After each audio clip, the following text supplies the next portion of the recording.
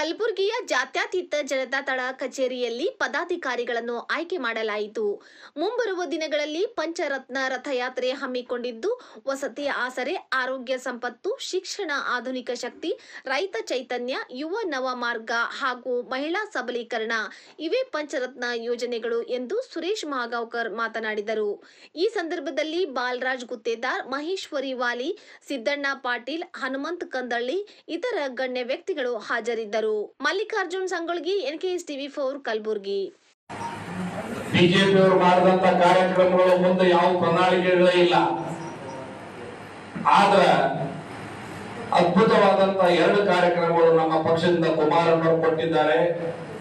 ಒಂದು ಜಲಧಾರೆ ಕಾರ್ಯಕ್ರಮ ತಮಗೆಲ್ಲರೂ ಗೊತ್ತಿದ್ದಿರುವುದು ಏಳರಿಂದ ಎಂಟು ಲಕ್ಷ ಜನ ಇವತ್ತು ಬೆಂಗಳೂರಲ್ಲಿ ಕಲ್ತಿದ್ದು ನಾವೆಲ್ಲರೂ ಸಾಕ್ಷಿಯಾಗಿದ್ದೀವಿ.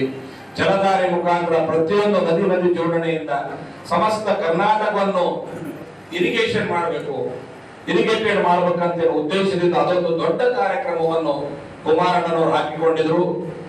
ಅದಾದ ಮೇಲೆ ಈ ಪಂಚರತ್ನ ಕಾರ್ಯಕ್ರಮ ಮುಳಬಾಗಲದಿಂದ ಚಾಲು ಮಾಡಿದ್ದಾರೆ.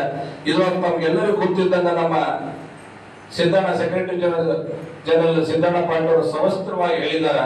ಅದರೊಳಗೆ ನಾನು ಐದು ಮುಖ್ಯ ಕಾರ್ಯಕ್ರಮಗಳು ತಮ್ಮಲ್ಲಿ ಹೇಳಲು ಬಯಸ್ತೇನೆ. ಶಿಕ್ಷಣಕ್ಕ ನಮ್ಮ ಹತ್ರ ಆಧುನಿಕವಾದಂತಹ ಶಿಕ್ಷಣ ಪ್ರತಿಯೊಂದು ಹೋಬಳಿ ಮಟ್ಟದಲ್ಲಿ ಹೈಟೆಕ್ ಸ್ಕೂಲ್ ಕಟ್ಟಬೇಕಂತ ಹೇಳಿ ಕುಮಾರಣ್ಣ ಅವರ ಕನಸಾಗಿದೆ. ಅದನ್ನು ಅವರು ಈ ಮುಂದೆ ಇಪ್ಪತ್ತ್ ಮೂರನೇ ಮುಖ್ಯಮಂತ್ರಿ ಆದ ಅವು ಕಾರ್ಯರೂಪದಲ್ಲಿ ತರ್ತೀವಂತ ಹೇಳುವಂತಹ ಒಂದು ದೊಡ್ಡ ಕಾರ್ಯಕ್ರಮವನ್ನು ಈ ಪಂಚರತ್ನ ಕಾರ್ಯಕ್ರಮದಲ್ಲಿ ಒಳಗೊಂಡಿಸಿದ್ದಾರೆ. ಅದೇ ತರ ಹೈಟೆಕ್ ಆರೋಗ್ಯ.